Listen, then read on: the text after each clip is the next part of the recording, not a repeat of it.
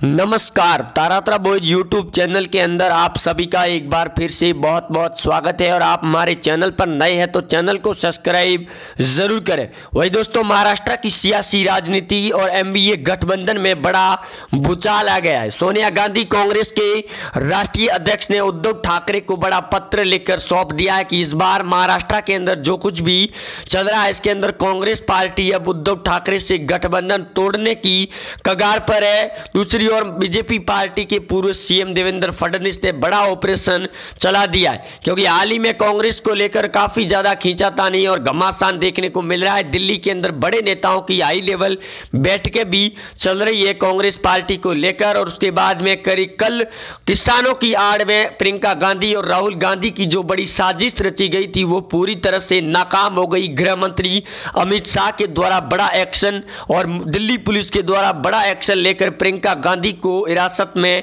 ले लिया गया और उसके बाद साथ में कई बड़े कांग्रेस के नेता भी शामिल थे। लेकिन जिस प्रकार से जहाँ एक और महाराष्ट्र के पूर्व सीएम उद्धव ठाकरे और एमवीए गठबंधन पर बड़ी गाज गिरने की कगार पर है, क्योंकि सोनिया गांधी ने साफ़ तौर पर बयान और कांग्रेस के महाराष्ट्र के नेताओं ने यह बयान देते हुए कहा कि शरद पवार जल्द ही बीजेपी का दामन थामेंगे और उद्धव ठाकरे के लिए ये बड़ा झटका भी होगा। दूसरी ओर महाराष्ट्र के सीएम उद्धव ठाकरे और संजय राउत लगातार बयानों पर बयान दे रहे और भाजपा पार्टी यहाँ तक कि राज्यपाल भगत सिंह कोश्यारी को लेकर भी खिंचाई शुरू कर दी है। एम गठबंधन ने अभी हाल ही में हिंदुत्व को लेकर एक बार फिर जंग छिड़ चुकी है उद्धव ठाकरे शिवसेना पार्टी और राज्यपाल के बीच में। दूसरी ओर कांग्रेस पार्टी को लेकर भी लगातार सवाल खड़े हो रहे हैं। वहीं कांग्रेस पार्टी राहुल गांधी और प्रियंका गांधी और सोनिया गांधी के साथ मिलकर जो गुपकार गैंग जम्मू कश्मीर के अंदर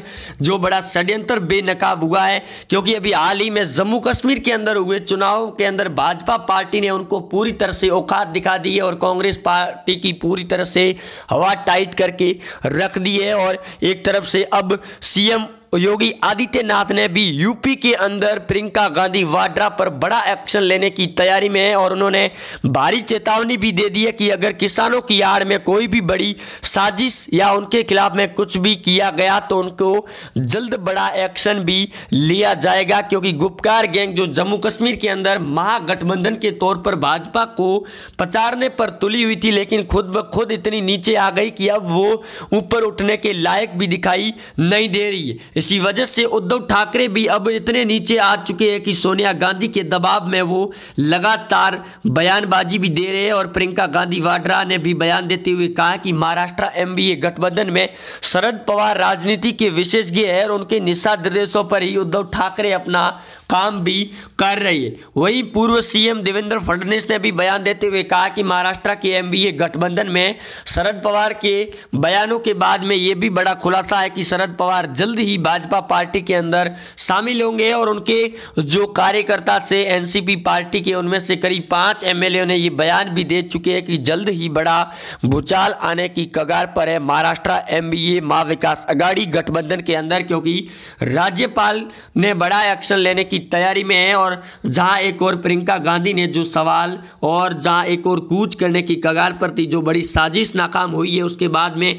किसानों ने प्रियंका गांधी वाड्रा की ठुकाई दोस्तों शुरू कर दी है और लाइव ठुकाई देखने को मिल रही है, जहाँ प्रियंका गांधी वाड्रा की पिटाई करते हुए नज़र भी आ रही है। लोग इस किसान आंदोलन की आड़ में बड़ी साजिश का पर्दाफाश हो गया, जहाँ गुप्कार गैंग की कमेटी ने एक तरफ़ से कांग्रेस की आड़ में जो बड़ी साजिश रची थी, जम्मू कश्मीर के अंदर वो पूरी तरह से नाकाम हो चुकी है और शरद पवार भी जल्द ही दामन थामेंगे भाजपा पार्टी का। और भाजपा के पूर्व सीएम देवेंद्र फडणवीस ने भी अपना प्लान शुरू कर दिया है। वहीं महाराष्ट्र के अंदर लगातार पिछले आठ महीनों से भूचाल भी मचा हुआ है। चाहे कंगना रानौत हो या फिर सुशांत सिंह राजपूत हो या फिर किसान आंदोलन या उद्धव ठाकरे की सरकार को लेकर चारों तरफ़ से भूचाल मच चुका है। राजनीति के सियासी गलियारों के अंदर और गुप्त रूप से खबरें, ये भी मीडिया सूत्रों के हवाले से आ रही है कि अब उद्धव ठाकरे की पूरी तरह से सरकार स्थिति असमझ में आ चुकी है कि आखिरकार अब उनकी सरकार को कैसे आगे तक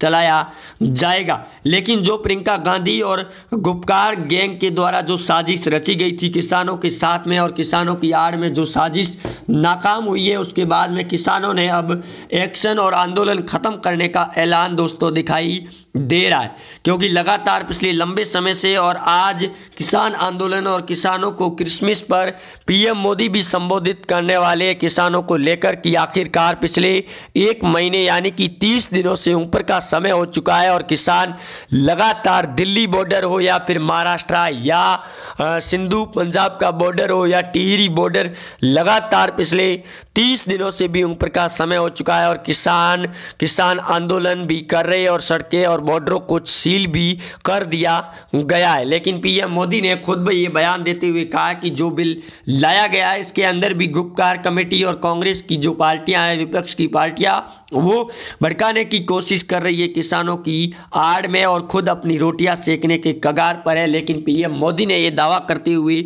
साफ़ तौर पर कहा है कि जल्द ही उनके खिलाफ भी बड़ा एक्शन लिया जाएगा, क्योंकि लगातार पिछले लंबे समय से जहाँ एक और पार्टियाँ, भाजपा पार्टी और इस कृषि कानून बिल को लेकर सवाल खड़े कर रही थी। दूसरी ओर राहुल गांधी के द्वारा कल राष्ट्रपति रामनाथ कोविंद से भी मुलाकात की गई, जब कांग्रेस पार्टी के द्वारा मार्च निकाला जा रहा था। इस समय प्रियंका गांधी को हिरासत में भी लिया गया था। दिल्ली पुलिस के द्वारा उसके बाद में उनको छोड़ दिया भी गया था, लेकिन राहुल गांधी की मुलाकात रामनाथ कोविंद सिंह से ज़रूर हुई है और इस दौरान रामनाथ कोविंद ने भी बड़ा बयान देते हुए कहा कि अगर लोकसभा सदन के अंदर कानून कृषि बिल को पारित किया गया है और अगर फिर से संसद के अंदर सत्र बुलाकर अगर कृषि कानून बिल को रद्द किया जाता है तो इसके ऊपर बड़ा निर्णय लेने की पूरी संभावना है, लेकिन उनके द्वारा सौंपे गए इस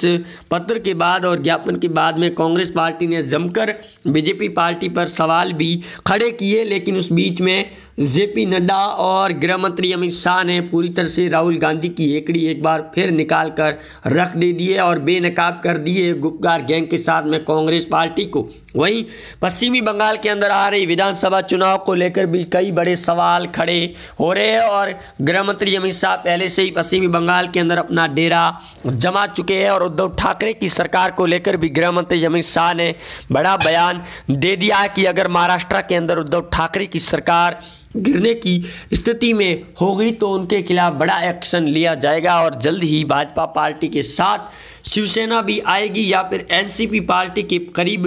10 एमएलए की बयान सामने आ रहे हैं, जो जल्द भाजपा का दामन थामेंगे। और इस बीच में कई बड़े सवाल भी खड़े होंगे, क्योंकि महाराष्ट्र के अंदर सियासी राजनीति के गलियारों के साथ साथ बड़ी खबरें सामने आनी शुरू हो चुकी है। वही दोस्तों, आप वीडियो को ज़्यादा से ज़्यादा दोस्तों, अपने मित्रों के साथ और यूट्यूब पर शेयर कीजिए ताकि हमें भी पता चल पाए कि आखिरकार जो गुप्कार और कांग्रेस टीम के बीच में जो बातचीत हो रखी है, इस बातचीत के बाद में गुप्कार गैंग को उनकी औकात दिखाना बड़ा फ़ायदेमंद भी होगा क्योंकि एक तरफ़ भाजपा पार्टी ने जम्मू कश्मीर के अंदर जो बड़ी जीत हासिल की है, क्योंकि महागठबंधन के तौर पर करीब सात पार्टियों ने गठबंधन के तौर पर चुनाव लड़ा और कुल मिलाकर एक सौ ग्यारह सीटें लेकर आई और भाजपा अकेली पार्टी वहाँ पर करीब नब्बे के करीब सीटें लेकर आ गई। ऐसा ही कुछ हैदराबाद के नगर निगम चुनाव में देखने को मिला था, जहाँ योगी आदित्यनाथ और गृह मंत्री अमित शाह ने अपनी बैटिंग की थी और असुद्दीन ओवैसी की पार्टी को पूरी तरह से धोकर रख दिया था और अब ओवैसी भी कई बार गिरते हुए नज़र भी आ रहे हैं। यहाँ तक कि पश्चिमी बंगाल के चुनाव को लेकर ओवैसी ने बयान ये भी दिया कि ममता बनर्जी के साथ वो गठबंधन करके अगर अमित शाह को हराना है तो वो बड़े तौर पर गठबंधन करना होगा। इस बार पश्चिमी बंगाल के अंदर। दूसरी ओर, जहाँ एक और भाजपा पार्टी के साथ साथ में शिवसेना पार्टी ने यह दावा करते हुए कहा कि अगर ममता बनर्जी को पश्चिमी बंगाल के अंदर इस बार जीत हासिल करनी है तो शरद पवार को उनसे ओपिनियन लेना चाहिए और शरद पवार एक राजनीति के विशेषज्ञ और आने वाले समय में ये बयान भी दिया गया है शिवसेना पार्टी संजय राउत के द्वारा कि शरद पवार आने वाले समय में भारत के प्रधानमंत्री भी बनेंगे और जो जिन लोगों ने उनका रास्ते को रोड़ा बन रहे हैं, उनको भी सबक सिखाया जाएगा। लेकिन आपको बता दें कि बीजेपी पार्टी और गृह मंत्री अमित शाह के होते हुए शिवसेना पार्टी को पूरी तरह से उनकी औकात दिखाती हुई नज़र आ रही है। इसी वजह से बीजेपी पार्टी और गृह मंत्री अमित शाह, जेपी नड्डा ने अब पश्चिमी बंगाल के अंदर ममता बनर्जी को उखाड़ फेंकने के लिए अपना प्लान शुरू कर दिया। आने वाले विधानसभा चुनाव को लेकर जहाँ एक और ममता बनर्जी कई बार बयान और दावे भी कर चुकी है, लेकिन पश्चिमी बंगाल के अंदर अब गृह मंत्री अमित शाह का जादू चलता हुआ नज़र आ रहा है, क्योंकि करीब टीएमसी पार्टी के सत्तावन नेताओं के और कार्यकर्ताओं के द्वारा भाजपा का दामन थाम लिया गया है। तो दूसरी ओर भाजपा पार्टी के नेताओं ने अपना अब दौरा शुरू कर दिया है। पश्चिमी बंगाल के विधानसभा चुनाव को लेकर, जहाँ अब एक बड़ी सरकार बनाएगी। बीजेपी पार्टी जो वर्षों पुराना रिकॉर्ड ममता बनर्जी को उखाड़ फेंकने का पूरी तरह से प्लान और ऑपरेशन शुरू हो चुका है। इस ऑपरेशन के ज़रिए अब बड़ा ही ममता बनर्जी के साथ में